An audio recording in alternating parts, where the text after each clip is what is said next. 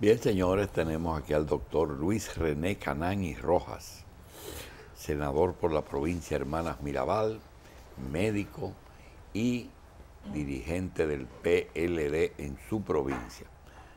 Doctor, gracias por estar aquí. Muchas gracias, doctor Jacín, Machi, José Israel, un honor compartir con ustedes esta invitación y saludar a los amigos y a las amigas que están en sus hogares, que nos permiten entrar. Doctor. Está ratificado, doctor. Eh, sí, el acuerdo lo dice. El, acuerdo lo dice. Doctor, justamente por ahí comenzamos. Mire, el, su eh, militancia al lado de Danilo Medina, toda, toda su, su trayectoria dice que usted podría tener conocimiento del famoso pacto. Y hablando con un senador en el día de ayer, me dice, tú sabes que yo no puedo hablar eso contigo, porque tu labor es decir las cosas, pero la historia de la aprobación de ese proyecto podría ser motivo de uno de los mejores bestsellers de este país, porque cada senador tuvo una razón específica para, aunque algunos coinciden, y lo único que me dijo fue que habían 10 senadores el número 10 y 11 eran importantes. ¿Por qué eran importantes los números 10 y 11 de los senadores? mire, eh, eh, ciertamente el partido tuvo una crisis de, un mes y pico, casi dos meses, casi 40 días, un mes y pico. Y en ese trayecto, el 10 y 11 era lo importante por el aspecto que tiene que ver, aunque nosotros éramos de opinión que la ley de convocatoria no era orgánica, el, número era para evitar o para blindarnos ante cualquier sometimiento al Tribunal Constitucional, un eventual sometimiento, puesto que los juristas asesores nuestros eh, nos convencían y ratificaban el criterio que, teníamos la mayoría de nosotros, los que simpatizamos con el compañero Danilo Medina, de que era una ley de convocatoria que era orgánica, que no era orgánica, perdón. Entonces, para cuidarnos de que si sometían que era orgánica, entonces el 10 y el 11 eh, eh, tuvo una ¿Qué, diferencia había entre 10 y 11? No, que eh, si, eran, si eran 11, los que estaban, entonces teníamos menos de los 22, tendríamos 21 senadores, entonces eso imposibilitaba, ante un eventual recurso de, jurídico, la discusión iba a ser un poquito más, más, extendida. Ya con 10 nos garantizaba 22 y con 22 nos blindábamos ante cualquier situación. Originalmente se dijo que Leonel tenía 14 que los votos tienen dos pies. no, pues, Usted dice que con 10 le garantiza 20. No, o sea, que la cantidad, como somos 32, y se habla de que la ley orgánica... Son 17. Se, quiere una, votación especial. Sí, pero hubo tres senadores. ah, 10 y 11 es lo que van a dar. no, no, 10 y 11 era lo que, lo que estaban en la acera del frente en el momento al proyecto. Que podían ser 10 o podían ser 11. Entonces el doctor me preguntaba que por qué la importancia de 10 o 11. Bueno, si 10 era lo que estaban en la acera del frente, 22 y, 10 son 32. Entonces eso suma la totalidad de la matrícula y 22 es la mayoría eh, que se requiere cuando una ley es eh, orgánica. En este caso nosotros pensamos que no era orgánica, que era una ley ordinaria y hubiésemos requerido menos votación. Pero para blindarnos y cuidarnos eh, y se hizo esa, ese ejercicio que dice el, doctor. Pero, desde, un, superada. desde un principio se habló. Porque todos los otros pasaron. nosotros se quedaron, o sea, dos, 22 se pasaron. No, no todo. Al final el partido logró un pacto político, un acuerdo político, donde todos y todas votamos a favor. Eh, y de hecho se, obtuvo por la, totalidad de, la matrícula. De, sí, pero ese fue el final de la película. El final, sí. Lo que yo quería saber era, cuando de la gente de, Leonel decía, nosotros tenemos 14, hubo 3, hubo 4, como que cambiaron de rumbo. Y aquí se ha hablado mucho de dinero, pero realmente según lo que hemos oído ahí, no hubo dinero, hubo otro tipo de interés. acuerdo político y intereses. Eh, no hubo otro tipo de interés. Había gente que tenía proyectos económicos. Hubo interés y capital ahí. No, y algunos intereses políticos, algunos queremos reelegir. No, no. Interés y capital. No, solo intereses. realmente. Interés compuesto. Realmente el, tema de, que todo aquel que votó a favor del proyecto al final de la historia tiene la opción de repostularse. Bueno, lo que publicó el comité político, firmado por los 35 miembros del comité político a unanimidad, eh, habla de que los senadores y los diputados iban a mantener la posición para la, repostulación y los alcaldes, hacía una particularidad con los alcaldes, el mismo documento que fue, es público por eso hago referencia a él, y la dirección del partido lo dio a conocer, los alcaldes iban a ser medidos, salvo lo que no fueran eh, objeto de política de alianza. Eh, eh, tenían esa particularidad. Porque la alianza, la alianza es esa colita lo que le va a salir. bueno, la alianza, el PLD le está limitando, porque acuérdense que hubo dos acuerdos, un acuerdo interno y un acuerdo hacia afuera. El acuerdo hacia afuera también tiene varias varias subdivisiones, que es la conformación. Los 10 cheles de Euclides. No, ¿Dónde? yo, creo que ese es un término el alcalde pedáneo. No, que no cabe, no cabe en estos momentos. Quizás eso, eso refleja, yo creo que eso hay que dejárselo. El comité político hizo un mandato y le, dio la tarea al presidente de la República como candidato presidencial a que él manejara la política de alianza. ¿A qué nivel le necesitan blindaje ustedes? El blindaje solamente se necesita en el Senado. No, yo creo que debemos todos mantenernos activos, porque el que usted le dé la, opción no significa que usted va a ser eh, eh, el senador o la senadora. O sea, usted está dando la oportunidad de postularse, pero el pueblo que va a decir si usted tiene la simpatía o no, al igual que el presidente. Así era con Trujillo también. No, pero con Trujillo era muy distinto, don José. Era muy distinto. Doctor, ahí, nadie se ponía nada. Si alguno de esos no tenía simpatía, lo cancelaban de una vez. Cancelaban de una vez.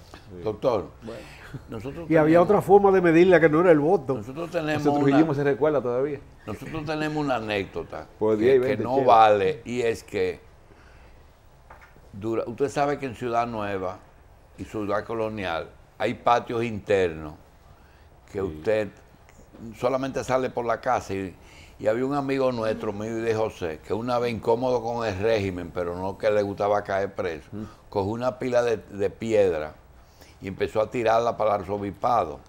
Cuando se propuso a Trujillo, el padre de la, iglesia. No, cuando, la, cuando la pastoralista, cuando la pastoralista fue. Empezó a tirar piedra para arriba. el asunto que nosotros no podemos hacer eso. Nosotros lo que queremos saber es realmente, porque alguien dice que el mismo presidente dice que los temas municipales no van a ser tan fáciles. Es difícil. Eh. que lo municipal y lo congresional parece que está claro. Y es lo siguiente.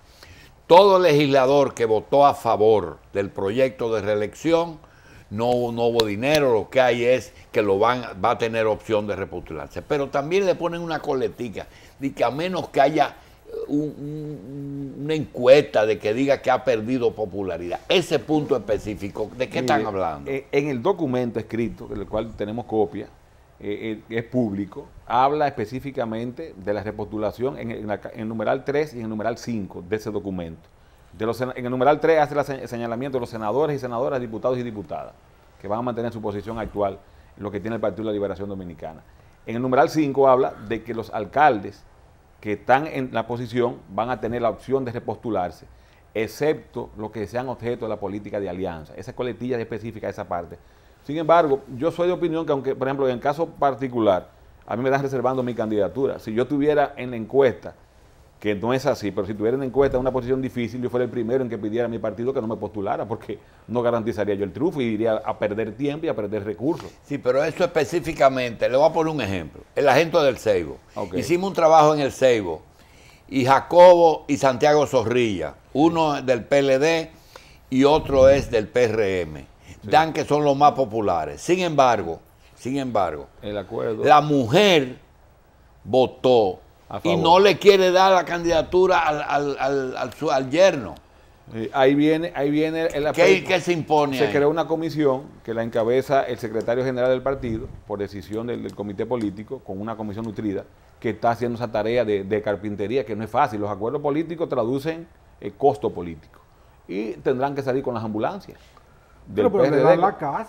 Eh, ¿Perdón? Le dan la CAS. No, o sea, las ambulancias. Al inconforme la, le dan la Las compensaciones que se utilizan en política para que usted quede lo menos bravo posible. Y esas ambulancias saldrán de lado y lado para garantizar que el acuerdo se dé. No es fácil, pero es una tarea Sí, pero hay, pero hay otro caso que uno piensa como que hay dos PLD, porque si Sonia votó por la reforma y es una mujer de Félix Bautista, ¿Cómo es posible que Olgo siga poniendo la promoción? Bueno, si, él está en el INDRI. Parece que no han leído bien el acuerdo o no quieren leer el acuerdo, que hay un acuerdo Pero él se va a quedar en el INDRI. Entonces, ¿por qué sigue la campaña senatorial? Bueno, yo, entiendo que es una manera también de garantizar lo que tiene y de, tener su militancia cautiva para sumarse a lo que la dirección del partido decida. Ah, porque y se hace campaña para quedarse con lo que tiene. Es posible, pues, digo yo, es posible, porque imagínese usted, y si usted se, apaga, entonces quizás lo quitan, lo quitan la candidatura y también le pueden quitar la posición. Es una manera inteligente de mantenerse Porque el de Barahona fue claro. Ah, no lo dijo. José del Castillo dijo, no, no, ya yo dejo al que haga. Esas son gente obediente en política, porque en política también habemos personas que nos hacemos tontos. Oye, me, quedo, yo me quedo en el ministerio. Ah, pero menos mal, pero acá, ¿qué, compensación? Eh, no es mala. Yo entiendo que no es una mala compensación. No, le va bien. lo dejan ahí, Lo dejan en su, en su otro día la garante le dijo, no, yo no voy, no voy para ahora. Yo entiendo que hay también políticos que muchas veces queremos ser más políticos que los líderes políticos y perdemos la, la visión de disciplina partidaria. Si hay un acuerdo político, ¿qué es lo que usted está haciendo a, la Araca? Bueno, pues entonces nosotros pensamos, usted está haciendo a la Araca legítimamente, pero para mantenerse en el puesto que tiene. X personas. Bueno, y en, el caso, general. Si ratifican los electivos, ¿por qué no van a, ratificar los nombrados? Aunque, aunque eso no va en el acuerdo, es una atribución constitucional del presidente, pero pudiera ser como pues, pensar. Doctor Canán, ¿quién jala y quién empuja en estas elecciones? Bueno, eh, la ola del presidente Danilo Medina es una ola que jala. O sea, Danilo Medina está por encima Nadie, ni un candidato, nunca. No, no, me refiero a diputado y senador. Ah, no, el que más votos saque, es el voto preferencial. No, no, en el voto, en el congresional. ¿Quién empuja y que depende de quién saque los votos. Se mantiene el voto preferencial. Si el senador saca... Y a usted no le interesa elegir a sus diputados para, para Pero que haya... es que la opción del elector es esa. En la, provincia mía, que es una circunscripción la provincia. ¿Cuántos diputados tiene? Lo que dice la constitución, un mínimo de dos. Ahora mismo tiene uno el PLD y uno el PRD. Si el diputado saca más votos que yo, me suma a mí. Si yo saco más votos que el diputado, le sumo al diputado que más Espérese, que usted se metió ahí en un área importante. ¿Quiere decir que el PRM tiene seguro un diputado con la alianza en su, en su provincia? Bueno, si nosotros sacamos menos de un 68%, sí. Si sacamos 68% más, tenemos... Sacan los dos. llevamos los dos. Nunca, nunca se ha hecho pero tenemos la opción por primera vez. Usted se imagina en la provincia el PRD. Ah, pues el PRM va a sacar muchos mucho votos. Pero claro que va a sacar votos. Eh, eh, Más que lo que tiene. yo pensaba que eran 32. Pero usted sabe mejor que yo, doctor, que cuando hay una polarización, usted arranca con un 70. en el mejor de los casos, usted arranca con un 70. El otro tiene un 30. ¿Con qué por ciento usted saca dos diputados? En la provincia de Mía, de un 68 en adelante. Es mucho. Que, no es, que es demasiado voto. eso no hay antecedentes. Eso no es fácil por más alianza que usted vea. ¿Cuánto sacó usted en porcentaje? Un, un 53% la segunda vez. Porque acuérdense que yo vengo de ser diputado y ser senador con algunos asuntos internos ahí, un 53 y pico. Tenía una proyección de llegar a un 60. Cuando fui salí con un 53 porque las fuerzas internas se cruzan a veces y es bueno que usted gane, pero una vez es bueno que usted gane con lo menos posible, con lo indispensable. Entonces eso se da en política. uno de una vez tiene que sacarse con sus No estamos hablando con un partidito, es un partido que ya habla en el nivel del manejo absoluto del Estado con todos sus detalles. Pero hay que, hay que reinventarse, don José Israel, porque mire, el tener tanto poder dado por el pueblo eh, es una manera de que si usted no se reinventa, si no hubiésemos tenido nosotros la tabla de salvación de Danilo Medina con la gestión que ha hecho, que le ha gustado al pueblo, con la gestión llana, franca, directa y sincera y abierta, un estilo que le ha gustado al pueblo, no critico los otros estilos, sino hablo que este estilo le ha gustado al pueblo, en base a todas las mediciones de todas las encuestas el PLD ha llegado a sectores que nunca había llegado. Entonces, el, sector del campo, hablar en el campo del PLD 10, 15 años atrás, eso, era una mala palabra. Nosotros que hacemos campaña en los campos, entramos. Ahora, el reto de nosotros es ahora imitar la forma de gobierno de Danilo Medina en usted, nivel local. usted tocó un tema que Machi y yo vivimos en el año 1900. seguirle echando la basura a Lionel. No, no, no, está diciendo que no. No, no, no, dijo eso. No, para nada, porque Lionel, Lionel es un activo del PLD del país y Lionel transformó la. Además, eh, la, infraestructura de la cara de la República Dominicana en sus tres gobiernos que Lionel hizo es histórico. El mismo Danilo él lo ha reconocido siempre. Mire, doctor, la, lo utilizó. Danilo Medina, eh, perdón, Leonel Fernández en el 94 fue candidato vicepresidencial de Bosch, sin muchas posibilidades y venía todos los martes aquí. Usted sabe, él tiene dos pronunciamientos que hizo en ese programa que a nosotros nunca se nos ha olvidado. Me dijo, nosotros en el PLD nos realimentábamos de antibalaguerismo. Decía, nosotros vivíamos con antibalaguerismo todo el tiempo. Él era candidato a vicepresidental, inclusive acababa de hacer un libro en contra del fraude del, 90. Y dijo, pero me he encontrado como el que viajaba era él y vos ah, no viajaba mucho nos dijo a Machi a mí, ¿usted sabe lo que yo me he encontrado? Que a nosotros no nos conocen en el campo. La gente lo que te hable de Balaguer en el campo. Para que lo sepa. En el campo más recóndito, Balaguer. Y la otra fue, una vez que José dijo José Cuello, dijo en un programa que fue, que si tuve una reunión de arroceros, tú encontrabas mucho Mercedes y mucha jipeta en la puerta de los molineros. De los molineros. Yo utilicé esa, ese tema que me dio José y se lo pregunté a Leonel. Leonel me dijo, yo quiero tratar ese tema la semana que viene. La semana próxima, el otro martes, vino y nos dijo, mire, yo no sabía nada de arroz la semana pasada. Pregúntame lo que usted quiera de arroz. Porque me hice experto en arroz. En porque arroz. realmente yo no sabía nada. Y salió a relucir el tema de la importancia del molinero como banco financiero, agiotista del productor. Ciertamente, le tiene un pie en el cuello siempre la productora Rosero. Ah, no, lo tienen. Eso de la fanega y el No, cajón. y la tara, y la tara, tara, y y le la que la tara son- son le llevan- problemas. le- y eso que, que usted no es arrocero. No, la, la provincia mía, pero mire qué pasa, la provincia mía no produce arroz, pero la provincia mía tiene los principales productores de arroz en San Francisco de Macorís. Ajá, ¿eh? Por ejemplo, la gente de Conuco, de, de San José de Conuco, son productores de arroz. En San Francisco. En San Fran- en Cenoví, en La Guarana, y tienen muchas fincas de arroz. Entonces hay 20 o 30 productores importantes de arroz de mi provincia que viven en Salcedo, en Conuco fundamentalmente, y se trasladan todos los días a las fincas a trabajar en su finca de arroz. Y conocemos bastante. Y hay, hay factoría de arroz en Salcedo. Sin haber producción de arroz, tenemos varias factorías de arroz. Hay Ayer, molinero ahí. Y molinero ahí también. con motivo con motivo buenos de, amigos. de que una de que una eh, encuesta una encuestadora Sí. le filtró una una encuesta de Leonel que era Nulín que Nulín es Funglode le pasó una encuesta a un medio, el medio feliz, porque Leonel Fernández le mandó una encuesta con Rafaelito Núñez, pues resulta que se equivocaron, ¿verdad? Y resulta ahora que las encuestas son casi más importantes que las elecciones. Es que ustedes se van a llevar de la encuesta para los municipales. Sí, mi- mire qué pasa. eh, Pero fíjese que también hasta la oposición política nosotros, el PRM también está hablando de encuestas. Todos los partidos políticos. Lo que pasa es que el trauma de una convención interna. Los partidos eh, muchas veces eh, nos resistimos. Por ejemplo, a mí me mandaron a convención en las elecciones pasadas. Yo con número en el PLD en mi provincia, un número bueno, excelente, mejor que muchos que no fueron a convención. Pero a mí, a Charlie Mariotti nos mandaron a convención y fuimos. Y peleamos en convención y ganamos de una convención. Claro, uno, uno sale tropeado de una convención, hablando en el lenguaje de campo. Sí, pero mire, Entonces- ese asunto de la, conven- de, de la convención le está pasando al PRM un problema enorme. Sí. Resulta que el PRM el signo es el dedo. y ahora es el dedo, ¿verdad? Y por eso fue que se fueron la mitad de los, de los PRDistas con el PRM, Sí. por el dedo de Miguel. Pero ahora resulta que Concepción, San Lobatón y, y, y Atala son candidatos a senadores, pero el dedo vino y puso a Milagro. A Milagro. Entonces ahora se llama Partido Revolucionario Prehistórico, Ahí viene la no moderno. No, está- Y las puertas abiertas del PLD están abiertas para seguir este frente, la alianza que el PLD está haciendo es amplia y grande. Todos los Sí, pero sectores no caben tanto en la guagua. Bueno, pero tenemos que apretar un chimbo que tenemos que apretar un poquito. El único que tiene algo que dar es ustedes, porque son los que tienen. Y estamos dispuestos en aras de que Danilo sea presidente nueva vez. Porque el pueblo De dominicano. hacer un gobierno compartido. No, pero venga Una acá, gente pero- que son tan comesolas, Bueno, doctor. pues vamos a tener que aflojar un chingo de comesolismo, porque es verdad, es verdad que somos, eh, somos comesolos a veces.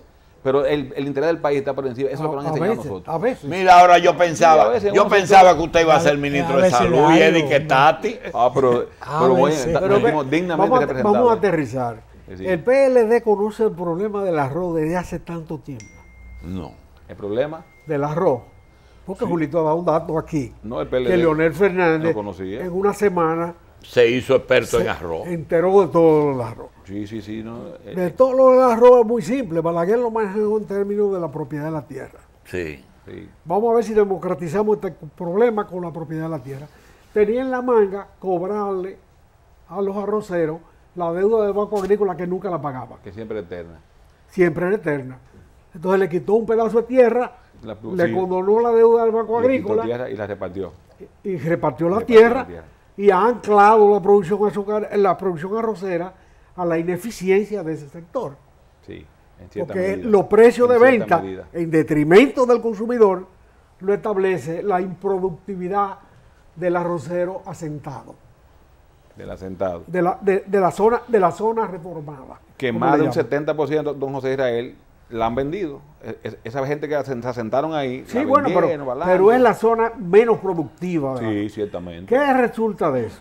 Que la República Dominicana no puede exportar arroz porque el precio de sustentación interno se establece sobre la base de la improductividad, no de la productividad. Una, una productividad. Consecuencia, los eficientes ganan mucho dinero, los otros sobreviven y la totalidad de la población dominicana consume un arroz carísimo. Caro y de una calidad cuestionable. Pero además, los excedentes son inexportables. Yo no sé qué hacen con ellos. y además, sobre todo, don José Israel, que ese beneficio directamente no le llega al productor de arroz. El grueso del beneficio se lo lleva la intermediación. Se lo lleva la intermediación. intermediación que- pero que- además, pero además, además, el precio de sustentación No es. lo establece la improductividad, no la productividad.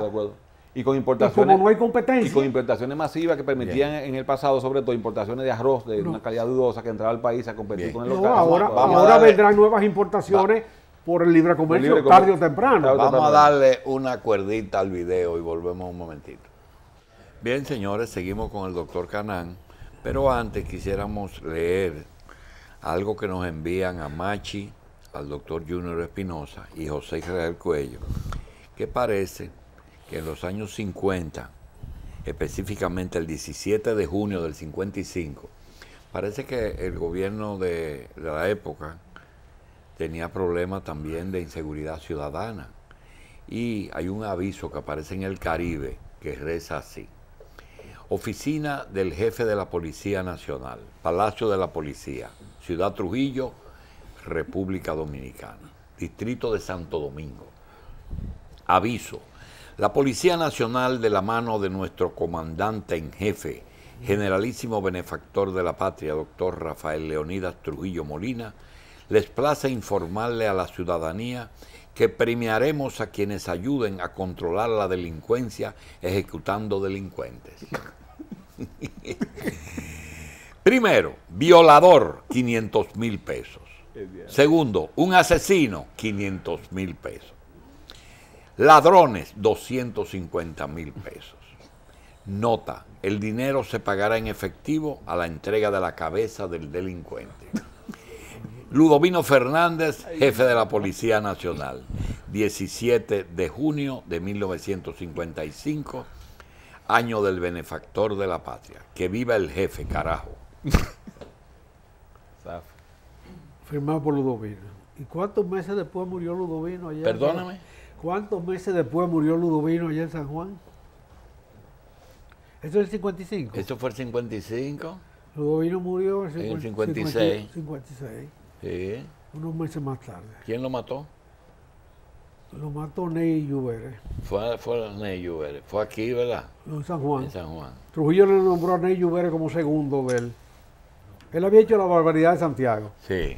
De lo de Eudes Maldonado. Él estaba de jefe de la Guardia en Santiago. Sí. Y lo hicieron jefe de la Se policía. produjo el robo de la Del, de Royal. de Royal. Lo mató a todos. Entonces Trujillo se dio cuenta que la, la población reaccionó. Hubo mucha, mucho, muchos gestos públicos de rechazo a esa locura. Y entonces canceló a Ludovino y lo, lo degradó y lo mandó para San Juan, que era Bien. un mando menor. Sí. Igualmente al sobrino que estaba con, con él allá, a, a José, a Josecito García Trujillo. También lo, le bajó el, el grado. Pero después le mandó a Ney Lluvere, que era enemigo de él, como segundo a San Juan. Ay. Y cuando Ney Lluvere se presentó donde él, ahí mismo sacaron los dos. Tan, tan, tan. Y se fueron los Bien. dos. Y se fueron los Se dos. fueron los dos. Porque una corte Ludovino que estaba en la habitación mató, Mató a a, Ney a Ney. Bien. Pero así se tiró a Cobian también. Nosotros, nosotros Salvador Cobian Parra, nosotros tenemos al doctor eh, Luis René Canán. Hay un detalle, es que cuando se critica al Congreso, al Poder Legislativo, nadie se da por aludido. Es una costumbre. Pero quizá de los organismos que más cosas se dice, porque quizás o ellos no se toman en serio o entienden que cuando se critica no se refiere a ninguno en particular. Nosotros lo decimos porque a veces hay cosas que deben ir al Congreso y ustedes nunca dicen, eso debe ir. Ayer aparece un, un acuerdo que firma el jefe de la Dirección Nacional de Control de Drogas con la Unión Europea para combatir el narcotráfico. Yo creo que combatir el delito es una función universal y que está establecida un Interpol que tiene que ver con, eso. Sin embargo, esos acuerdos que uno desconoce de dónde viene y para dónde van. Después aparece que incluía deportaciones, que incluía repatriaciones, que incluía entrega de presos. Realmente, ¿puede el Congreso decirle a la Dirección de Drogas que le den detalles de qué fue si firmó con la Unión Europea? Claro, porque la política exterior, de manera constitucional, es atribución del presidente de la República. Y los congresos, los acuerdos y los tratados de, bilaterales o multilaterales deben ir al Congreso Nacional cuando son de eh, cuando se quiere tener validez y la garantía soberana del Estado Dominicano de, que eso eso está validado por, el, por, el, Congreso. Todos los países civilizados y desarrollados eh, de carácter democrático lo estilan así. Los acuerdos de cooperación, hay acuerdos sombrilla y hay acuerdos que son, eh, son acuerdos de interinstitucionales que si no van al Congreso no tienen el rango ni comprometen al país en la, en la ejecución. Eh, hay un enlace, inclusive la Cancillería mantiene un enlace con el Congreso. El Poder Ejecutivo manda todos los, congresos, todos los acuerdos que son de interés eh, al Congreso para, para ser ratificados, vía la Comisión de Relaciones Exteriores del Senado de la República, y se, se le ha dado todo el seguimiento y todo el respaldo, toda la, diligencia es necesaria. Lo demás, los acuerdos militares, regionales, de organismos de lucha contra contra el narcotráfico, el microtráfico, los delitos con eso que tienen que ver con, eh, estos temas, son relaciones de, instituciones que no comprometen al Estado. Debieran tener, tuvieran más valor, tuvieran más aceptación y más cobertura y, más garantía si vía el Poder Ejecutivo llegan al Congreso eh, de la República. Doctor, usted dijo ahorita que hubo una crisis de varios días entre los sectores de Danilo y, y Leonel en el Congreso por razones de la reforma constitucional.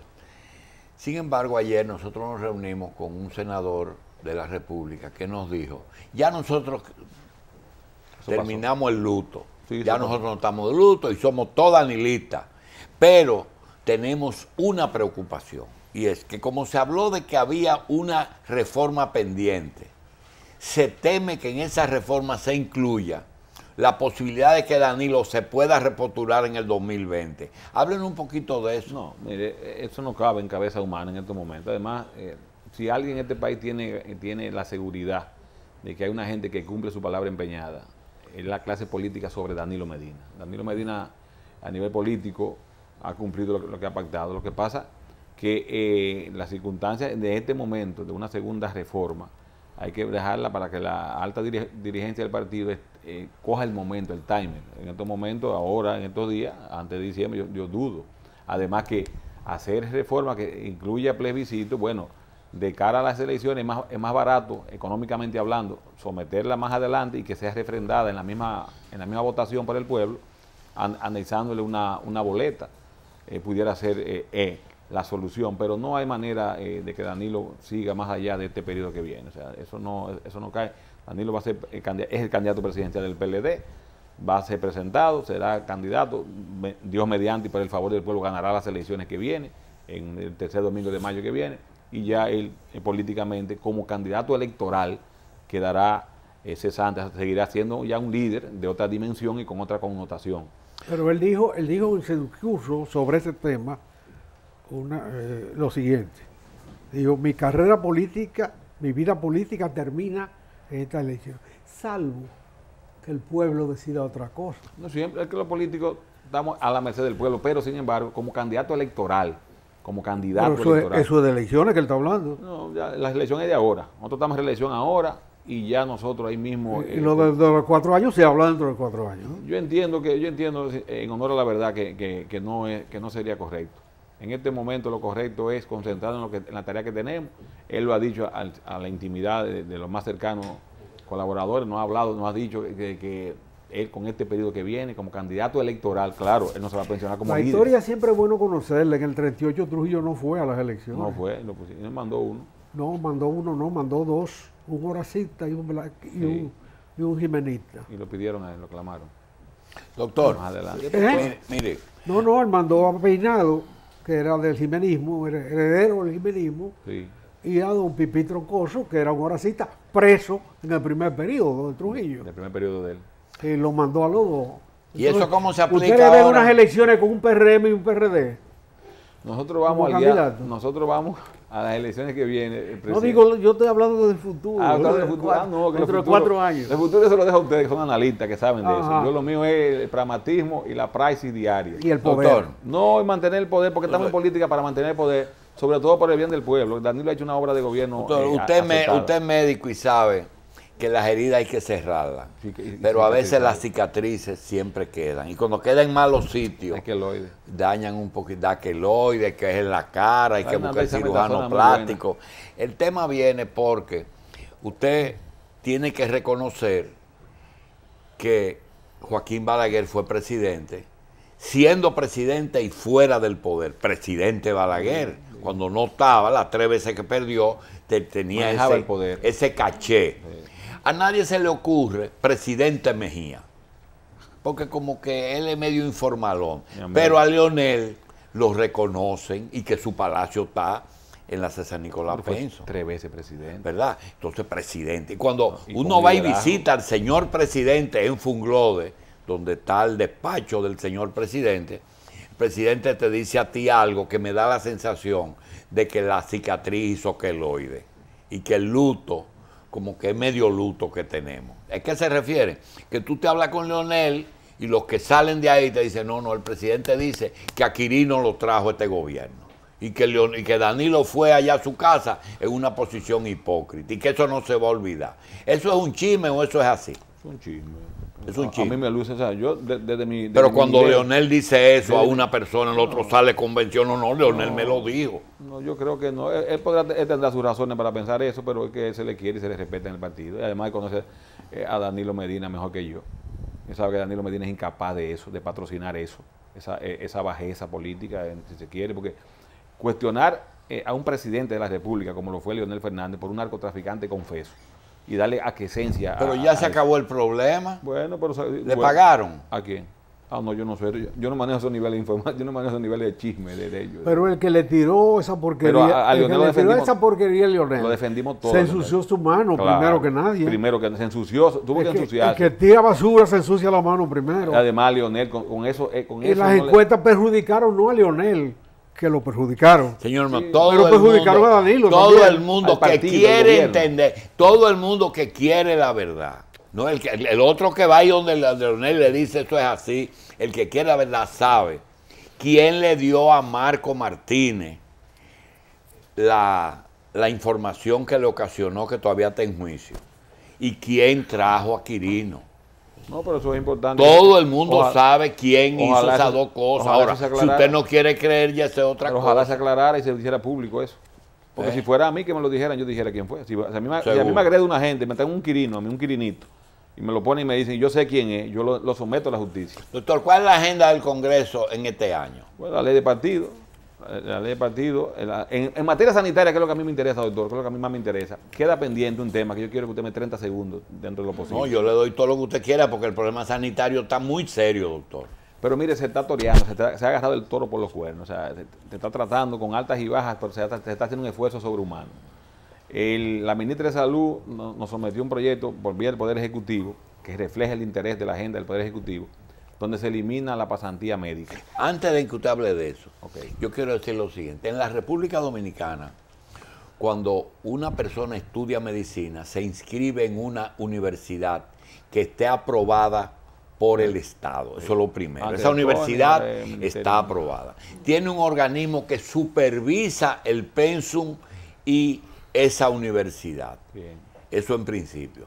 Emite un título cuando termina ese estudiante como doctor en medicina. Así es. Y esa persona, después que pasa un año ofreciéndole servicios al Estado en pago a lo que el Estado invirtió, le devuelve un año de pasantía con un pequeño pago en un lugar que salud pública autoriza eso. Es. Eso es lo que se. Al cabo del final, tiene derecho a solicitarle al Poder Ejecutivo Su exequatur. para el ejercicio profesional. Bien. Ahora hay lo que se llama el entrenamiento especializado, que médica. hay universidades que tienen esas residencias para entonces hacer médicos especialistas en el corazón, en ginecología obstetricia, en cirugía, etcétera. Y su especialidad que también. si usted se va afuera, tiene que convalidar. Y cuando regresa, También viene. Ahora resulta que hay un proyecto, se está hablando de un bendito, como unas pruebas nacionales para un médico después que se gradúe. Pero Háblenos de eso antes de decir que somete Mire, a eh, muchachos. es, es importante, qué bueno que usted lo plantea con una didáctica. sí, porque hay gente que no entiende. No, no, no, usted lo plantea de manera, de manera Aquí didáctica. vino un papá que me dice, a mi hija le están cometiendo una injusticia porque la quieren examinar después que la graduaron de médico. Óigame eso. Mire, en todos los países desarrollados, el concepto de medicina, la, calidad de la medicina es medido y regulado por el Estado. Usted no puede en un país que se respete hacerse médico, trabajar, que no y más nunca tener un control de sus capacidades, poniéndole la mano a pacientes, bregando con vida humana. Entonces la República Dominicana está tratando de normatizar la calidad de la atención en salud desde el punto de vista académico. Y el, el gobierno, la agenda que el gobierno ha diseñado, contempla esa pasantía médica de ley, que como usted la señaló, es el último eslabón que el médico opta para eh, tener su exequatur. El exequatur es lo que permite ejercer la carrera desde el punto de vista legal. Sin eso, sin un exequatur, un decreto del Poder Ejecutivo, usted no puede ejercer la carrera de medicina. Tiene que hacer un año de pasantía. Entonces, eso la, la introdujo Trujillo, eh, del año del 42 por ahí, eh, viene, data la ley de pasantía para hacer esa labor social en los campos, donde no había casi población ni inf- infraestructura. Se ha tornado ya con, los años de un carácter un poco anacrónico, porque usted tener eh, médicos que constitucionalmente no tienen el exequatum para ejercer la medicina, haciendo medicina, es una paradoja, pero que se ha tolerado por décadas. Se ha tolerado, fíjese que el médico que está en una clínica rural o una UNAP pasante no tiene el exequatum, que es lo que le permite ejercer la medicina y está prescribiendo y está haciendo ejercicio Sí, médico. pero suponiendo que ya tenga el Entonces, exequatur. no, bueno, es otra cosa. No, es otra cosa. Déjeme llevarlo por parte, doctor. Cuando la- lo que plantea el gobierno y nosotros compartimos es que la pasantía, como un elemento de, de- de muy, po- de muy poco pago y de muy poco eh, y de, y de ser inconstitucional, ya jugó su rol. Hay más de 600 médicos familiares que están graduados, que son especialistas, que están ahí esperando un nombramiento. Que lo que el gobierno pretende es cambiar la modalidad de que donde están los médicos pasantes, con ese dinero, esas mil y pico de plazas que hay de, de- de médicos, Eliminar el pasante. eliminar el pasante. ¿Y sustituirlo sustitu- por qué? Por médicos familiares, que ya graduados en una universidad. O sea, con un entrenamiento de dos años en medicina ¿Pero familiar. qué le van a pedir a ese médico familiar? ¿Un examen? No, entonces espérese. Una vez se coloca el médico, se está planteando, la otra etapa es, se elimina la pasantía, es lo primero. Ya se eliminó. Ahora, se está planteando a los médicos, que es lo que hemos aportado en comisión y todavía el proyecto está pendiente, no se aprobó, que está en discusión, perimió con esta legislatura y se va a reintroducir, es autoría del diputado Mario Hidalgo, en la, en la primera semana de la, la prim- la primera semana de septiembre, cuando comiencen ya las sesiones, se plantea dar un examen de competencia única. La UAS, lógicamente, eh, eh, con en un espacio de discusión se opone. Ese es un examen de convalidación. Es, no, es un examen de evaluación de usted se graduó. Una ahí. prueba Pa- nacional. No, párese ahí. Una doctor, prueba nacional. ahí. José Israel Cuello es ingeniero civil. Sí, Tiene no su exequatur. No tiene Yo soy doctor en medicina, graduado de la UAS en el su exequatur. 64 y tengo, y tengo licencia de droga. Es decir, yo puedo pedir una, Sí, una cosa. Pero resulta que yo no les recomiendo que se ponga en manos mías. No, no, no. No les recomiendo que se pongan en Ni yo en la mía tampoco, ¿Usted sabe por qué? Porque yo tengo mucho Que no, que no. que no me ha actualizado. Claro. Entonces yo me pregunto, hay una persona que me dice, ustedes tienen que ver con la Universidad INSE, sí. Mira, yo estudié, yo estudié ingeniería con José Israel, pero lo dejé en el quinto y no tengo el título. A mí me pueden hacer el quinto año allá. No, tú tienes que comenzar la carrera. Cero, Eso tú te encuentras todos los días, que me faltaba sí. la tesis, así es que te dicen, me faltó la Hay tesis. una regulación que dice que luego de cuatro o cinco Ahora años. yo, no le quiero yo le quiero preguntar, Sí, esa persona como yo, lo que le van a pedir es un examen o le van a pedir una actualización periódica durante cada, lo que se llama la actualización del médico o del profesional. Sí. Acuérdese que las leyes tienen ley, que son artículos de ley y tienen materia de, de reglamento. La reglamentación de lo que ya tienen derecho adquirido, que son médicos, que estamos graduados, que tenemos ese cuadro, que podemos ejercer, el reglamento le irá, estaremos planteando que le, vaya dando la pauta para que se vayan de manera paulatina tomando los exámenes de actualización. Ahora, el recién graduado, que también tiene derecho adquirido porque se inscribió en la universidad en facultad, y que aunque las asociaciones de facultades de medicina los apoyan también en este proyecto, tendrán que optar por un examen de competencia, es lo que está planteando el gobierno, es lo que estamos apoyando nosotros desde el Senado, de que se apruebe que tengan la necesidad de tomar un examen. ¿Por qué no la tomará el ingeniero? Bueno, el ingeniero, el arquitecto, le llegará su momento.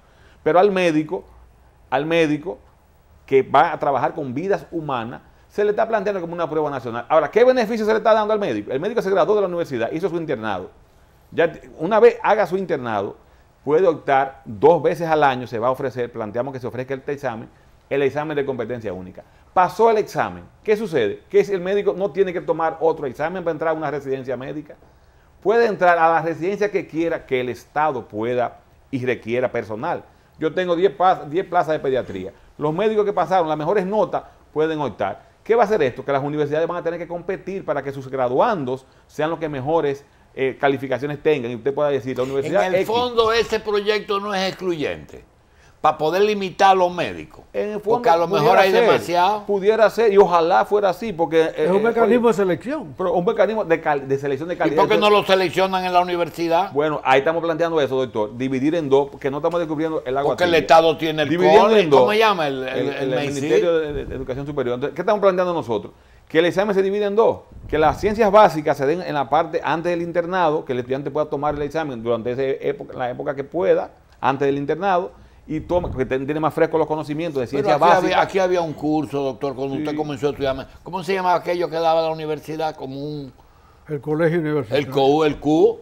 Ese es otro, es otro aspecto. Eso, ya eso es propio Y esas no de son la La, la privada, mayoría de las privadas eliminaron el colegio universitario. Sí. La mayoría de las privadas porque te- tenían otro mecanismo para fortalecerlo y optimizar eh, eh, los recursos. En la UAS se mantuvo. Eso era para llenar laguna de lo que te Pero- llegaba del bachillerato. Exactamente. Entonces, en medicina se está tratando de regularizar, de arreglar la casa. Fíjese que no toca a los odontólogos, no toca a los psicólogos, no toca a los bianalistas.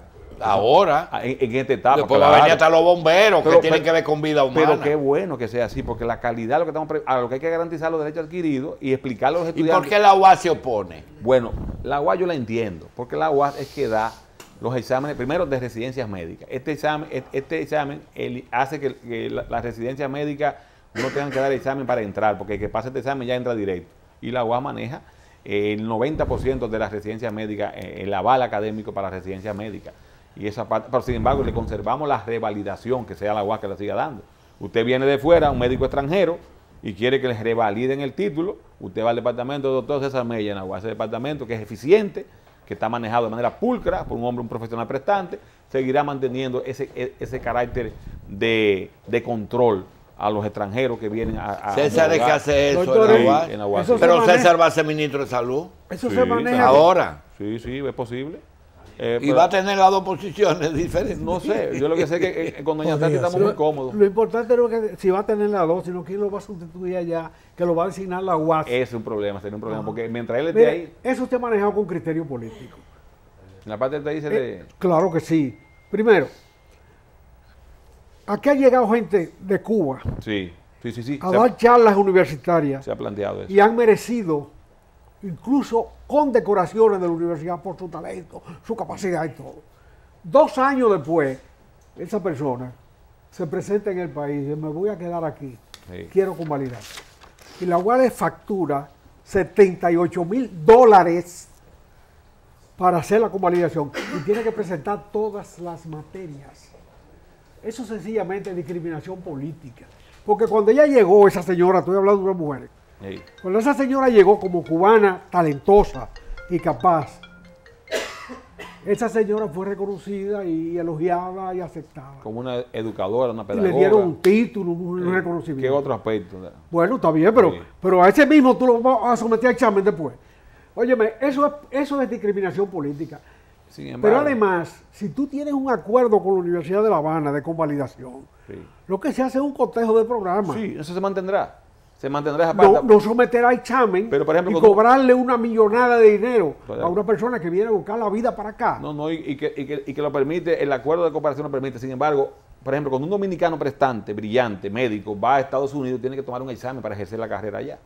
Entonces también cuando vengan uno de ellos aquí a la República Dominicana, deberá mantener, tomar un examen que será dado no por el Ministerio de Salud, que será dado de acuerdo a la ley por el, el ministerio que tiene que ver con las políticas públicas en materia de educación superior, que es el Ministerio de Educación, Ciencia y Tecnología. Pero no para excluir a nadie, con un consejo donde está representado el Colegio Médico Dominicano, estará representado el, la misma el Ministerio de Salud Eso dice el proyecto de ley. Eso dice el proyecto de ley, Pues, exactamente. entonces le quita la UAS esa No, la parte de- no, la- la- el, ejercicio es una cosa y la convalidación, la revalidación y la homologación son otras cosas. El ejercicio profesional para ejercer, usted puede validar su título, un- ante un acuerdo, sí. Ahora usted quiere ejercer para producir dinero y pagar impuestos y pagarle y, y- y someterse a las leyes dominicanas, usted tiene que tomar un examen de competencia única, es lo que dice la ley, el proyecto que, que estamos planteando. Porque si los dominicanos vamos a tomar el examen, pues muy científico que usted sea que venga aquí, tiene Pero que no tomar de todas las examen. materias. No, es un examen, es un examen de ciencias básicas y de competencias clínicas y médicas. Doctor, Y la tarifa, de acuerdo, no. de acuerdo a donde venga. Si viene de Venezuela o de Cuba, No, no. Yo, no, yo entiendo, porque mire, es otro aspecto. Yo sé por dónde usted va. Hay un aspecto que nos han dicho a nosotros, que la- los grandes eh, conglomerados económicos están tratando de instalarse en- en- a nivel de, de centros médicos mediante la ley de zona franca. Poner centro de salud con capital venezolano, capital americano, capital europeo, instalar y hacer, entonces, para promover el turismo de salud en base a esa ley. Eso es muy bueno porque viene inversión extranjera al país. Pero el profesional de la salud que venga a ejercer des- desde fuera aquí, a territorio dominicano, Una cosa es la tendrá que tomar. Una cosa es la inversión, otra cosa es el ejercicio Y otra profesional. es el ejercicio. Claro. Totalmente de acuerdo. hay No una porque la inversión ya ellos compraron la clínica Abreu compraron- hace días. Hace días. Doctor, hay una- Pero no pueden ejercer la carrera aquí si no Sí. tienen un examen. Hay, de- hay una, hay una situación que yo quisiera que usted aclare. Usted sabe que la salud se ha convertido, se ha convertido, no, siempre ha sido un negocio, pero antes cubríamos ciertas apariencias. Sí, que la, que muerto de una emergencia la no se cobraba. La que sé yo qué, el exequatura, Se la convalidación. la emergencia de la clínica, cosas, pero básicamente es un negocio. Hay turismo de salud. Sí. Estados Unidos tiene aquí delegados de médicos que si les refieren personas le dan los porcentajes allá. Sí, Eso lo sabe todo el mundo. así es. También hay. Y ARS eh, usted Florida. ve ahora mismo que te dicen a ti, hay que hacer un récord único. Es magnífica idea. Una idea que tiene la 20 años. seguridad. Pero aparece una compañía que te vende El el, servicio, sí, el- el ¿cómo se El llama? software. El El software, software. el software. Pero eso vale todos los cuartos del mundo. Dicen por ahí que el proyectico ese es un negocio, esa ley, y que beneficia a una empresa española. Española. ¿Hasta dónde eso es verdad? Mire, el proyecto de ley lo sometió el Poder Ejecutivo. Lo trabajó el equipo del ministro Montalvo con la ministra de Salud y con la ministra Ligia Amada Melo, que son personas que son muy duchas en el tema de la educación superior y que tienen muy buenas intenciones y están muy bien asesorados desde el punto de vista técnico para hacer este planteamiento. El proyecto perimió en el Congreso y fue reintroducido íntegramente por el diputado Mario Hidalgo de la Vega. Y la ministra de Salud ha ido a comisión y ha trabajado los expertos de SENASA, los expertos del Ministerio de Educación. Doña Ligia ayer mismo me llamó por teléfono para pedirme que le escucháramos de nuevo. La UAS ha estado. ¿Usted fue que presente introdujo el proyecto? en el Senado, pero perimió, fue a la Cámara de Diputados, en la Cámara de Diputados eh, perimió también y Mario lo reintrodujo y le hemos, y le hemos eh, garantizado, como él lo ha trabajado con tanta pasión, su autoría, aunque perimió en el Senado de la República, él lo va a introducir por la Cámara de Diputados, mediante un acuerdo que se hizo de caballero, íntegramente como llegó del Poder Ejecutivo. Lo hemos dicho en voz en- en- allá en el Senado. Si beneficia o no beneficia, yo no le veo a dónde estaría. Yo lo que veo que la UAS, la UAS está eh, de- desde su punto de vista de, acuerdo porque está perdiendo el control de los exámenes de residencia médica y la UAS, eh, quiera sí o no, hay un ingreso. Los estudiantes dominicanos para tomar el examen de residencia pagan un dinero que es compartido UAS, eh, Ministerio de Salud. La mayoría, la mayor parte le va a la UAS, hablan de unos 15 millones de pesos eh, por cada vez que se dan eh, los exámenes que le entran a la UAS como ingreso para trabajarlo.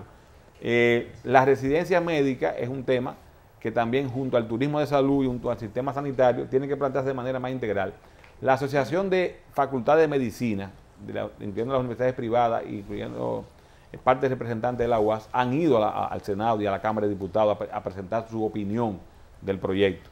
Nosotros creemos que es correcto la eliminación de la pasantía, correcto el establecer el examen de competencia única, a los cambios, a las regulaciones, todos nos oponemos de inicio, a nadie le gusta que lo regulen, a nadie, eh, pero cuando usted quiere regular un sector para que dé más calidad y se traduzca en mejorar los indicadores de salud, usted está trabajando de acuerdo al interés nacional. Yo, entiendo que hay algunas cosas que hay que renovarlas. Por ejemplo, usted coge el caso de un pasante, Sí. tipo que se gradúa y te llama, doctor, usted es senador, es médico y es PLDista.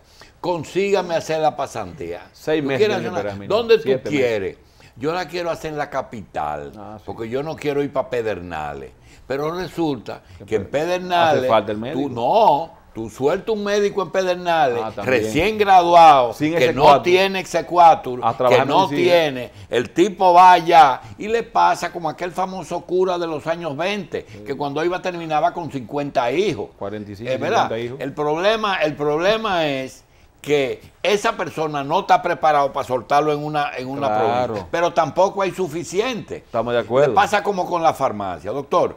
Hay una ley que dice que cada establecimiento donde haya medicina tiene que haber un regente. Un regente. Aquí no hay farmacéuticos para que haya un regente Mire, en cada doctor, farmacia. Eso es así como usted Y eso dice, no pero ha- eso ha ido variando un poquito, porque las universidades han estado graduando farmacéuticos, yo no sé si con la calidad de antes, pero han estado graduando. Técnico. Y técnico, entonces, inclusive técnico eh, en, en- por, por- avalado por el Infotep, con un cierto nivel, con mucho nivel. Sí, pero ese técnico No tiene es que tener capacidad de cambiar el medicamento Entonces, y te eh, decirte, este de promesa pero- es lo mismo. claro, es Entonces viene Pedro Ureña y te dice, No, no, no, el hipertenso no, A mí- no me le no- cambia el producto. Estoy de acuerdo con usted, pero sin embargo las universidades están eh, graduando cada vez más farmacéuticos, pero además, doctor, no puede haber un administrador de una farmacia que sea, que, que sea médico, que sea enfermera, un dueño de farmacia. No, pero tiene que ser eh, licenciado en, farmacia. Pero, por ejemplo, un dueño, o sea, yo como médico, no Sí. puedo tener una farmacia privada de, de- eh, de acuerdo a la ley. No. Porque entonces yo no puedo indicar los mismos productos para que la gente me lo, me lo compre en la farmacia. no, ni puede ser socio de un laboratorio. Ni un laboratorio, ni las ARS pueden, ser, pueden tener PCS. Pero puede ser si no se dedica, si no ejerce. Ah, si no le ejerce. Si no ejerce. Pues estoy totalmente de acuerdo. Si no le ejerce, sí. Si no Entonces, ejerce, lo-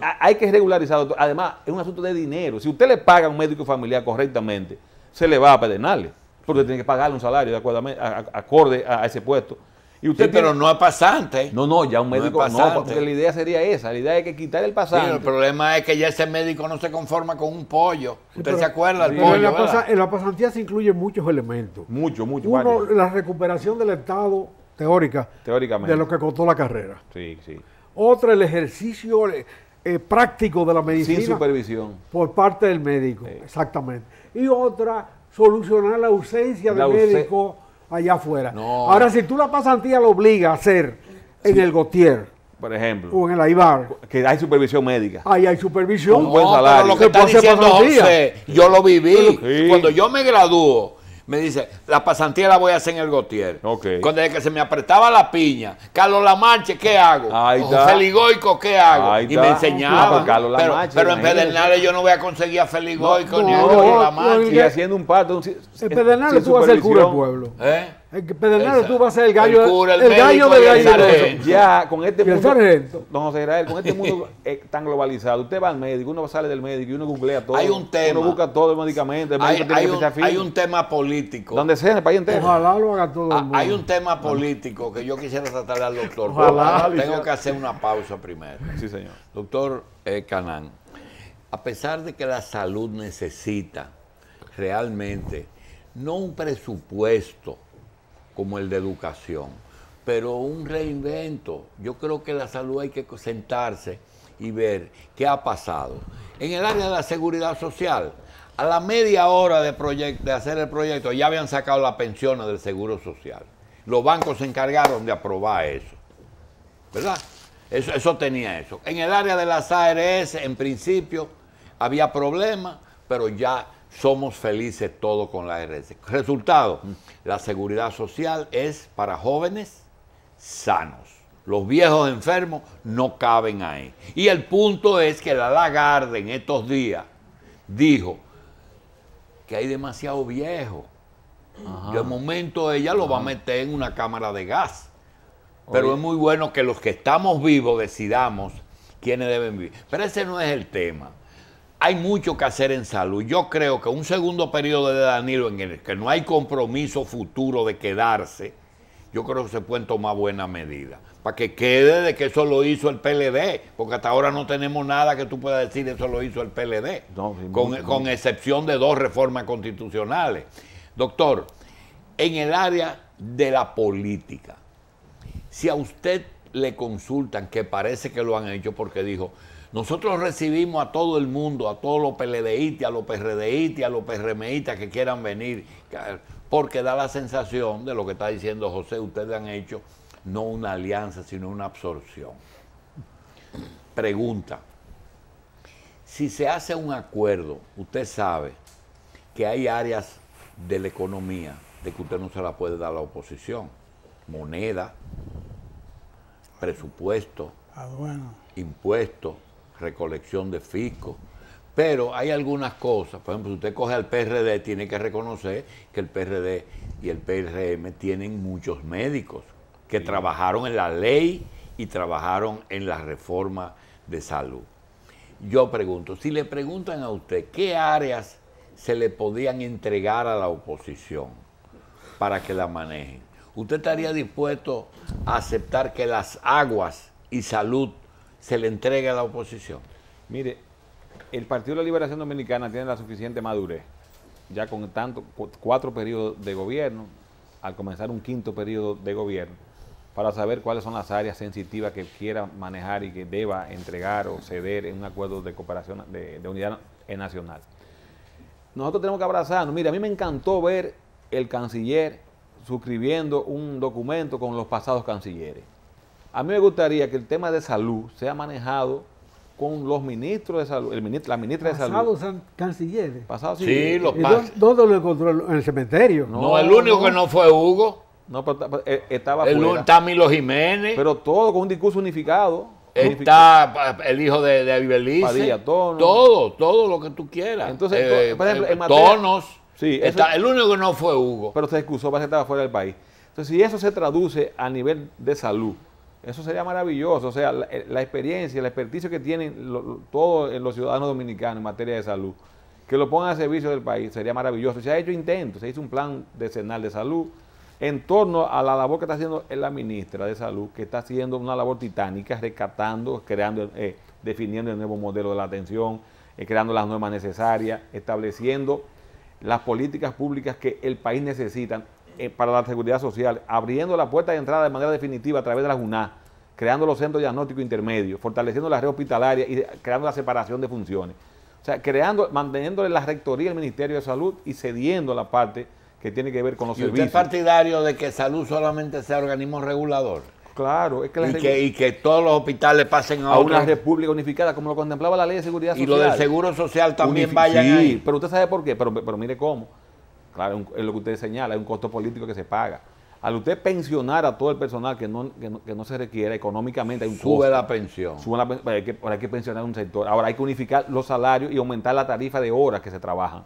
Para que una persona tenga un centro de salud hospitalario, el doble de salario, pero con el doble, o con por lo menos la tres cuartas partes de horas. Si te trabaja ocho horas, cuatro horas por un salario, que trabaje ocho horas. no ha sido capaz de regular. el que un doctor en medicina es legislador, es médico, es pediatra en un, en, en un hospital del Estado, es eh, asimilado de la Fuerza Aérea y trabaja en el Seguro Social. Aquí hay gente que tiene cinco empleos ah, y dan clase en una universidad una, vez por semana. O más de uno. Y, y, y, un séptimo. Juntan los estudiantes. Y son suplidores también del Estado, un séptimo, una Y son suplidores. Siete, siete entradas. Entonces, eso es, por eso hay que poner orden, por eso hay que comenzar a regular y comenzar por un lado. Esto no, no lo vamos a hacer todo en un día. Ahora tenemos cuatro periodos de gobierno, no podemos pasar a la historia sin fortalecer la red pública de salud. La, red, social, la red social. La red pública. es otra cosa. Organizar la red. Organizar la red. No hay que fortalecerla. No, por ejemplo, la red Es organizarla, darle uso a lo que existe. A la pública, en cuanto a infraestructura. Pero yo me refiero decía que trabaje 10 horas, no, no, que trabaje las 5. Las 5, pero Las 5 que le pagan. Y lo que dicen los estándares internacionales. Pero yo me refiero también a la red, a la red social de salud para el primer nivel, porque solamente nos gusta ver la infraestructura, porque eso es lo que la gente ve. Doctor, Pero la promotora, los promotores, los supervisores, yo no soy, la atención primaria. Yo no soy sindicalista, pero yo le voy a decir una cosa. Aquí hay una diferencia social y económica del médico, aunque aquí usted tiene médicos que en un día se meten 10 mil pesos diarios por diferentes consejos. 10 mil. Óigame. Hay de 400. hay consultas de 3 mil no, y de 4 mil. Y de un stand. No vamos a hablar de eso. bueno, pero yo le voy a decir una cosa. Pero aquí hay médicos que no tienen para comprar un carro. Estoy de acuerdo con usted. Y hay médicos que no tienen para comprar un consultorio.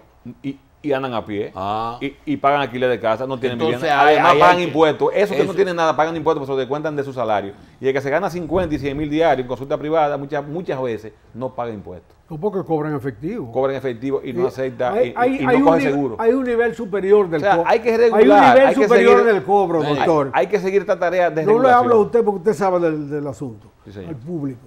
Hay un nivel superior que no es cobrar en efectivo, sino en dólares. También. Sí. Es el nivel Doctor, superior. El médico dominicano Lo ultra, lo ultra. le Sí, tiene más dólares. interés al sobrecito del laboratorio y de imágenes. ¿Tú ¿Sabes lo que es el sobrecito, verdad? Sí. El sobrecito es el porciento que da el laboratorio, que ese no se le dice a la mujer, ese se mete en el bolsillo. Pero afortunadamente, doctor, afortunadamente, esa es una, una élite, una minoría. El grueso del médico dominicano, que es, el- que, es- que es el que más calidad tiene, el que está en los hospitales haciendo medicina pública, que se entrega, que suda en los hospitales, que se gana el grajo del paciente de, de- de- de las camas de los hospitales, que afortunadamente ya la mayoría de las camas tienen su sábana, la mayoría de las camas tienen atención. Sí, pero ese que usted está defendiendo, El lo que trabaje dos horas. No, pero eso Ese es el problema, es el que trabaja. No. Los hospitales están en manos de los residentes Sí, aquí. no, la mayoría de los hospitales de enseñanza, doctor, los de enseñanza. Los hospitales de los pueblos, lo que tiene que haber es una gerencia mejor. Y hemos sido abanderados de que haya mejor gerencia para que ese médico cumpla, porque el empleador tiene que exigirle al trabajador que cumpla en base a los cánones, a contractuales. Entonces, el colegio médico no se opone a eso. Pedro si lo ha dicho, no, no, no, el que cumpla, el que tiene que cumplir, tienen que trabajar. Tienen que trabajar, el Estado tiene que exigirle, darle condiciones básicas para que trabajen. Y en eso es que estamos, y en eso se está construyendo. Se está construyendo un modelo de atención integral de salud.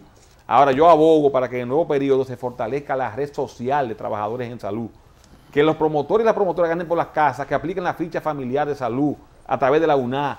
Que nada más no veamos la salud desde la UNA en adelante. Es antes de la UNA. Me gusta la medicina prehospitalaria, preatención Sí, primaria, pero doctor, para, promoción eso, de la salud. eso habría que llegar a que cada vez que se autorice una urbanización, ah, se, pero incluya la obligación Del de un centro de atención primaria. Y sobre todo la eliminación de aguas residuales, todo, salud No, entra en pero se- todo. Se, supone que en una urbanización ya hay un reglamento sobre agu- aguas residuales. Pero no hay una obligación de tener un centro, un centro de atención, primaria. Pudiera, eso, es el tema. Eso es maravilloso, sería maravilloso. Una, una gran, por ejemplo, la ciudad sanitaria, la que el gobierno está construyendo, eh, ciudad satélite. pero ya eso- ya es- eso lo contempla, hasta capilla contempla. No, eso siempre. Sí. Eso siempre. Eso en Euro Balaguer, donde quiera que, Ah, de Balaguer. donde quiera que hacía una urbanización ponía una capilla. Entonces estamos agregando un templo también, un templo laico, un templo para los cristianos. Doctor, No, ¿y cuál un es la centro de atención primaria, Y un centro de ¿Cuál atención es primaria la para salud. concepción que usted tiene del control de los medicamentos en, el- en drogas y farmacias? Mire, eso debe hacerse una reingeniería. Primero, el cuadro básico de medicamentos debe llevarse al, al perfil epidemiológico de las regiones sanitarias. Si usted en la región 3 de salud, usted tiene cuadro básico No, no, epidemiológico. yo digo No, no. antes. Yo, digo antes. Llegó un producto, Ok. ay, perdón, Estados Unidos o Europa investiga un producto y llega Sí. con análisis cual y cuantitativo, certificado de venta libre en el país de origen y se Patenta libre, todo. certificado, perdón, legalizado por El consulado, el consulado apostillado. dominicano de origen. Apostillado. Viene aquí la Cancillería dice que ese cónsul es verdad. Todo está en orden. Llega aquí. Llega a salud pública, usted va a droga y lo somete, droga lo manda al laboratorio y se pasa 16 años analizando. Yo pregunto, ¿tiene salud pública el, el mecanismo para averiguar lo que se tomó 10 años en investigar si realmente ese producto tiene Si lo que sí. dice que tiene? Si quisiera, sí. y Porque tiene aquí. Hay, hay que suscribir, bueno, los dos, se, se suscribe un acuerdo con los importadores vía Cancillería y usted establece un mecanismo de regulación y de inspección ágil y dinámico, una ventanilla única que se está trabajando en el Ministerio de Salud ese tema, en honor a la verdad. ¿Y qué trato usted le daría a los catastróficos? bueno, a lo, a lo catastrófico. Que lo venden a como le dé la gana. No, imposible. Tiene que haber una competencia local. Tiene que haber una contrapartida local. Las, transnacionales que han hecho su papel, tiene que haber, un- es un asunto de, de seguridad na- na- eh, nacional. Y eso no es Yo un trabajo de diplomacia, de que aquí venga el embajador y se junte no. con el canciller y diga, mire, eso hay que las- los mm, medicamentos catastróficos, nosotros vamos a lograr que se vendan directamente de gobierno a gobierno y no que aparezcan unos una pendejos salida. que lo pongan al precio que le dé Estoy de acuerdo gana. con usted, es una salida. Yo, yo le pondría otra salida. Ajá. Yo, yo le pondría esa salida de, de gobierno a gobierno, de Estado a Estado. Entra a cómo se vende, a cómo lo vende, eh, a, a cómo lo vende Estados Unidos. A cómo se vende aquí, se vende tres, cuatro veces O más 10 caro, veces, diez veces porque más también se lo venden a un PLDista para que lo supla. de estado a estado. En lo primero, lo segundo, estimularía la industria na- nacional, la industria local, con un fondo de estimulación para que produzca medicamentos y cree empleo, empleo ese, de otro, calidad. ese otro medicamento. Ese doctor. otro, a Es mediano el que plazo. viene de la India. No, no, no, no. Es el que no, viene yo me de la India. la materia prima del catastrófico, no de la India. De la India ¿Y hay la bueno- patente qué trato usted le daría? A la patente, lo que dicen los organismos, la, la- la Organización Pagarla. Mundial de la Salud. Claro, pagar la patente, asumir la patente y desarrollar una industria nacional que compita con la internacional, pero no, no para desplazarla, para que compitan. El que mejor precio me dé con calidad, a ese le compro. Pero usted, Doctor, está, doctor. usted está en la oposición o en el gobierno. No, yo estoy en el gobierno, porque eso se está haciendo en el gobierno, se está estimulando el gobierno también. Doctor, mire, le voy a decir una cosa. Si usted le lleva, se pone una industria nacional que fabrica aspirina, Sí. aparece un hindú o un alemán de Bayer que te diga, ven acá, ¿y cuántas aspirinas que tú vas a producir aquí? Te dicen, un millón diario. Dice, mira, yo te pongo eso a la cuarta parte de lo que va a producir tu industria. Doctor, si usted lo pone a competir a todos los que están registrados en base a la ley, a que compitan, a El ofrecer mercado no te lo resiste. precios, a ofrecer precios, y usted, usted estimula a la industria nacional a que venda también, y a la industria transnacional a que venda más barato, porque están vendiendo 10 veces más caro. Usted sabe lo que oye, hacen oye, en oye. la. Su compañero de acaba de, partido. mencionar la aspirina. En una oportunidad vi a un entrevistador que llevó a Ifadomi al banquillo de los acusados. Ahí donde usted, usted está. Ah, ok. Pero se preparó. Y, la noche antes compró todo tipo de aspirina que hubiera en una farmacia. a, diferente- a diferentes precios. La puso ahí. ¿Usted sabe cuál era la más barata al público? Yo lo- eso lo vi. Sí, sí, sí. La de Bayer. Seguro. Todos los otros envasadores locales. Más caro que todo. Porque que Bayer es el principal traen- que lo traen en bidones eso- y lo patillean, como le dicen. Por eso Es que no hay posibilidad de competir con Por eso Bayer. que la competencia es buena. Porque hay, hay importadores que están de la India y tienen que aumentarle el precio para pagar el ITEVI porque no pueden justificarlo. De tan barata que le sale. Porque no sabe cómo la compra. no, la medicina no paga ITEVI. No, o sea, eh, cuando ya el consumidor final, No. al consumidor final cuando se va, cuando sale, eh, para la declaración de aduana, perdón, lo que es el, el valor, el, el, el valor. paga aduana. Ellos pagan su cosa, acuérdense. paga nada. Acuérdense que ellos tienen su traque. No paga nada. Lo que hay que ponerla a competir, doctor, eh, eh, ingeniero. Ponerla ellos, a competir. ellos compiten. pero competir en buena ley, los grandes y los chiquitos que se beneficie el pueblo, hacer concursos abiertos, que participen todos. Nada Cuando, más no hay, comprarle a uno ni a cuando dos. un miembro del comité central, uno, ni a dos, ni a cuando tres. hay un miembro. Lo único que le ha hecho un, un un pellizquito a ese negocio ¿Cuál es? Es la farmacia popular. bien, Ah, hay que estimularla. Ese es el único lo que, Hay que le ha- estimularla. que le ha hecho. Cuando hay lo único co- malo es que se le acaba un producto De una vez le acaba y pasa rápido. un mes Sí. y no aparece. cuando hay un, Es lo único cuando hay que hay, estimularla. cuando hay un compañero del comité central que no está en cargo electivo o que no es nombrado en el gobierno, se convierte en un feliz suplidor del Estado. En, en diversas áreas. Sí, señor. Sí. En todo, en comida, en medicina. En base Señores, a- gracias al doctor, base que hemos abusado de él, al doctor No, en, la Luis en repartición con los partidos habrá que darle Ah, a los también. suplidores de, Somos los- suplidor. de Usted aquellos partidos que están, que están abajo hace mucho Sí, tiempo. La ley seguro. 340 regula. la Señores, ley de gracias, contrataciones públicas. Le damos las gracias a la Asociación de Ahorro y Préstamos Cibao, que nos manda su memoria, que por cierto que parece que son del PLD, porque son memorias PLDistas. La memoria PLDista es una, es una memoria en papel satinado de 100 libras, 8 y media por 11. ¿Verdad? Y tamaño que no cabe en tramo alguno. No, no cabe, hay Y- que hacerle un- una tramedia. de 14 pulgadas de alto. ¿y Gracias, dónde tú gracias pones a la eso? asociación, que ya pertenecen al, Son a la- miles. al nuevo orden institucional. Señores, nos vemos esta noche en Coral, en la repetición de la revista.